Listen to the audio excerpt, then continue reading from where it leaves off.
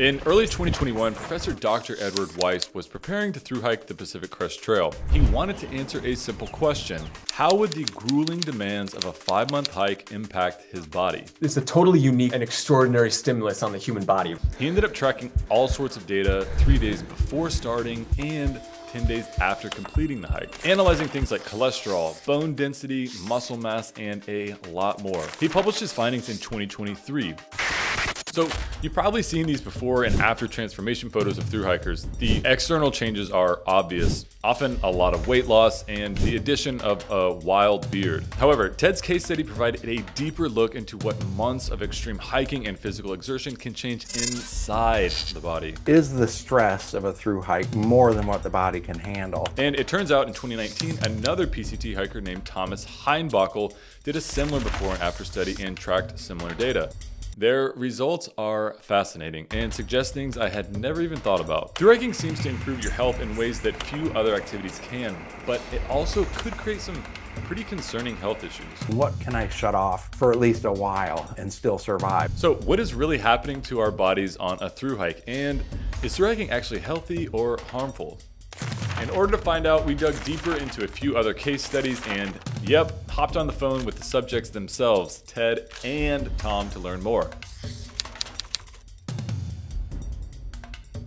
You see, hiking 15 or 20 miles up and down mountains every day with a loaded down pack for months puts serious stress on your body. You're essentially becoming an athlete when you're through hiking. If you saw a recent video about the through hiker diet, you'll know just how crazy the 5,000 calorie daily burn rate is on trail and how problematic it can be to operate in an energy deficient state for an extended period of time especially after your body has depleted extra fat storage. The extreme physical exertion forces your body into survival mode and to prioritize more vital systems and shut down less vital systems like the reproductive system. Things like menstrual cycles can cease for women and things like sperm count can decrease for men. But another one of these system shutdowns happens to our bones and muscles. Our bodies are smart. The heart has to keep pumping. The lungs have to keep circulating air in and out. And what can I shut off for at least a while and still survive. And one thing would be reproductive function. The other is bone. One of the things Ted tracked was his spine bone mineral density before and after his through hike. It dropped a whopping 8.5%. For context, the average human only loses about 0.5% of their bone mineral density every year as we age. Too much loss can lead to osteoporosis. It dropped similarly to what it would be expected to drop if I had aged almost 20 years or about 20 years, which is very concerning. Now, guess what else can age your bones by 20 years over the course of a few months? Spaceflight. Spaceflight is known to be terrible for bone, and I think it's two to four weeks of spaceflight does similar damage to the bones. Yeah, you heard that right. You can lose almost as much bone density through hiking as an astronaut loses from the loss of gravity. Now, what's even scarier is 9 out of 17 astronauts studied were not able to get their bone densities back to baseline after returning to Earth. That means even with high-tech rehabilitation and strict recovery programs, more than half of astronauts never fully recover, suggesting serious long-term bone concerns for through hikers. Other hikers like Tom also reported spine bone mineral density losses of 5%, and another case study showed a 3.8% loss in bone density. Yikes.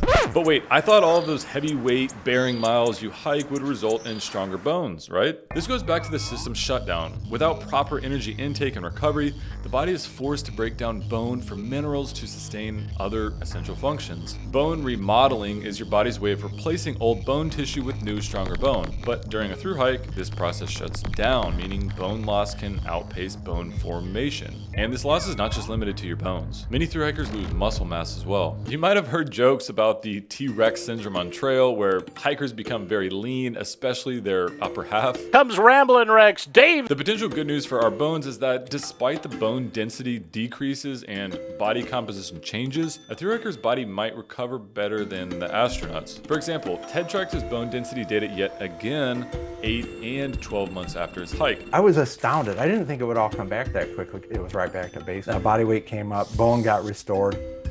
And muscle mass and body compositions generally came back to baseline as well post-hike, suggesting that any of these negative effects could just be temporary. But these bone and muscle losses do seem to matter in the short term while hiking. Why? So glad you asked. The combination of lower levels of bone density and muscle mass with high levels of daily strain and overuse creates a really great recipe for stress fractures and injury. This survey, conducted between 2018 and 2019 by the Appalachian Trail Conservancy, from over 1,200 through hikers asked several questions related to musculoskeletal injuries, or MSK injuries. 28% reported chronic injuries that developed over time related to overuse, and 18% reported acute injuries related to an incident like a fall or sprained ankle. These stats are further supported by this 2024 survey from the Trek from nearly 400 Appalachian Trail through hikers. 54% reported an injury injury on their through hike, and over 60% of these injuries impacted their ability to hike. These numbers are astounding. Basically, you have a 1 in 2 chance of a noteworthy injury, a break, a sprain, tendonitis, knee swelling, which can obviously be painful but also really suck to have to get off trail. Now, compare these injury stats to marathon runners. Only 30% of marathon runners reported getting injured while training. Still a high rate of injury, but through hiking is significantly worse.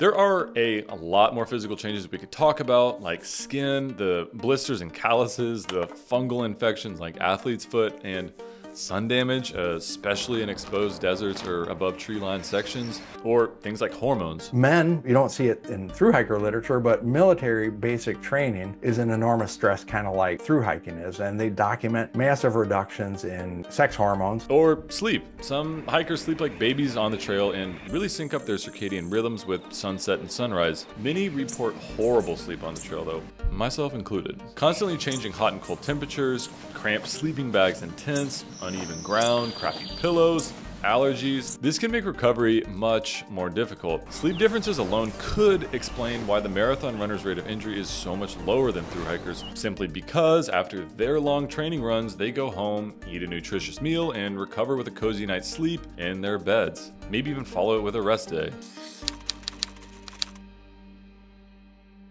So, through certainly poses health and injury concerns related to bone density and muscle loss, especially for a prolonged period of time. But Let's look at the other side of this. Me and my mentor decided to do all this testing on me, measured the health of my arteries, like how stiff they are, how well they react to increases in blood flow, how well they respond. In many ways, through hiking turns you into an endurance athlete, and with that comes some serious health benefits, particularly for your heart, lungs, and overall longevity. Through hiking is really good for the cardiovascular and respiratory systems, so both of those systems improve. Your heart is a muscle, and all of that cardio can make your heart stronger and more efficient. Stroke volume is the amount of blood your heart pumps per beat. A stronger heart can pump more blood per beat, resulting in a lower heart rate, common in marathon runners. Also, an improvement in arterial or artery function and red blood cell count. Your arteries become more elastic and responsive to changes in blood flow. You grow more capillaries who are able to send blood flow to all these new places, or at least more blood flow and oxygen and nutrients to all your muscles and important organs. But perhaps the most important benefit is something you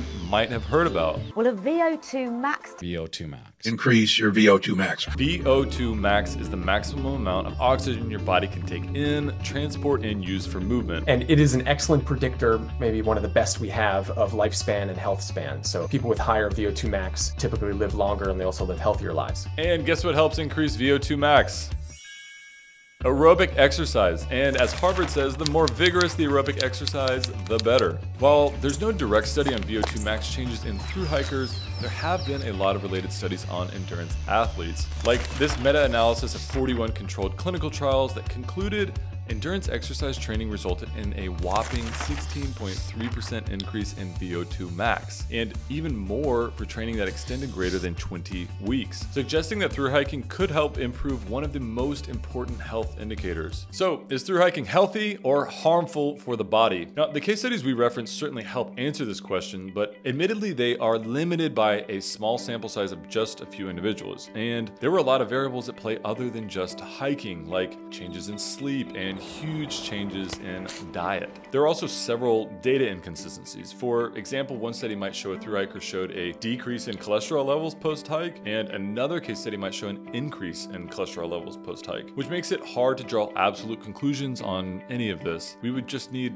a lot more data. However, it does seem like the increase in physical activity is very beneficial for certain systems, but too much of anything can be harmful. Your body is operating in a prolonged state of stress, which can shut down key systems, especially if you're not getting enough nutrition or sleep. So prioritize eating well and getting good sleep to help mitigate some of these potential health risks. That means high quantity and high quality food and sleep. And for quality trail food, have you tried our Greenbelly meals? I'm Chris Cage, the founder. They're 650 calories and have been called Rice Krispie treats on steroids. Check out the video we did recently on the through hiker diet. Eat well, rest well, and hike on. A big thanks to Tom and Ted for their help making this video. Don't put that in there, Juan.